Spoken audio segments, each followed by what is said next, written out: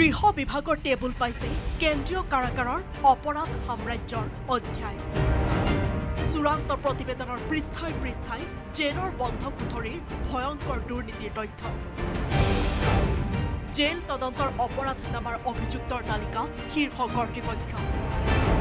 News এইটিনৰ ধাৰাবাহিক বাতৰিৰ পিছত ক্ষীপ্ৰ গতিত তদন্ত প্ৰক্ৰিয়া। দীৰ্ঘদিনে এইখন কেন্দ্ৰীয় কাৰাগাৰৰ প্ৰকাণ্ড দেৱালৰ ভিতৰত চলি অহা ভয়ানক নিয়মৰ বাতৰি সম্প্ৰচাৰ হৈ অহা সময়তে হাহাকাৰ লাগিছিল জেল বিভাগক।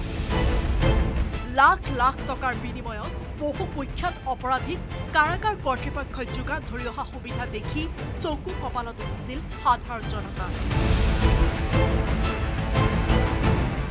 মাত্ৰ কেইটামান টকাৰ কাৰণে চেণ্ট্ৰেল জেল কৰ্তৃপক্ষৰ কৃপাত সম্ভৱ হৈছিল এই কাণ্ড। এইখন কেন্দ্ৰীয় কাৰাগাৰৰ ভিতৰৰ বজাৰতে কিমান মূল্যত কি কি নিষিদ্ধ সামগ্ৰী উপলব্ধ দেখুৱাইছিল নিউজ এইটিনে।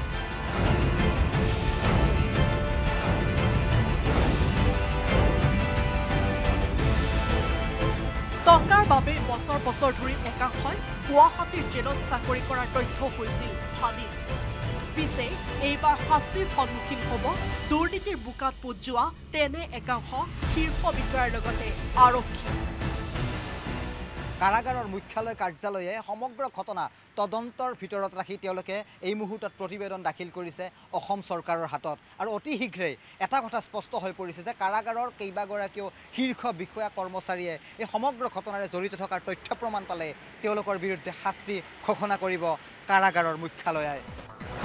কাৰাগাৰৰ কোঠাতে আই জি পিৰ জেৰাৰ সন্মুখীন অধীক্ষক উৎপল দুৱৰা। মহিলা আই জি পিৰ ধমক খাই নিশ্চুত জেইলাৰ দেৱকমল বৰুৱা। খানাপাৰত থকা এয়া কাৰাগাৰৰ মুখ্যালয়ৰ তদন্ততে ক্ষান্ত নহয় গৃহ বিভাগ। গুৱাহাটীৰ বশিষ্ঠ আৰক্ষীৰ এটা দলেও তদন্ত চলাইছে কাৰাগাৰ কাণ্ডৰ। জেইলাৰ দেৱকমল বৰুৱাই ডেৰ লাখ টকাৰ বিনিময়ত কোন অমল দাসৰ সহযোগত সাধাৰণ হাজোতিক যোগান ধৰিছিল মোবাইল? আহিছে তদন্ত। সাধাৰণ এগৰাকী কাৰাগাৰ প্ৰহৰীক চিত্ৰ ডেকাক নিলম্বনতে চাপ হ'ব নেকি জেল সাম্ৰাজ্যৰ দুৰ্নীতি? কাৰাগাৰ চিণ্ডিকেট সম্ৰাটৰ বিৰুদ্ধে কি ঘোষণা হ'ব শাস্তি? পি পূবালী গোহাঁয়ে তদন্তৰ চূড়ান্ত ফাইল জমা দিছে চৰকাৰ তথা গৃহ বিভাগক পিছে এতিয়াও ফাদিল হ'বলৈ বাকী এইখন জেলৰে আন বহু নেদেখা নুশুনা কাহিনী। ভিডিঅ' জাৰ্নেলিষ্ট সঞ্জয় বৰাৰ সহযোগত গুৱাহাটীৰ পৰা দীপাংকৰ দাসৰ ৰিপৰ্ট নিউজ এইটিন অসম